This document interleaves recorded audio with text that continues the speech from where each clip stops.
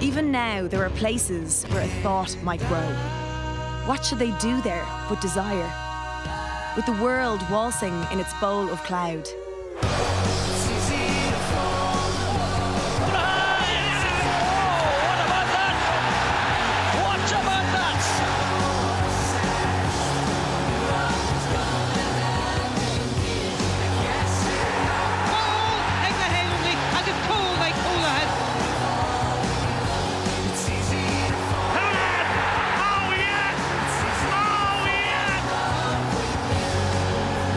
The God not abandon us, who have come so far in darkness and in pain.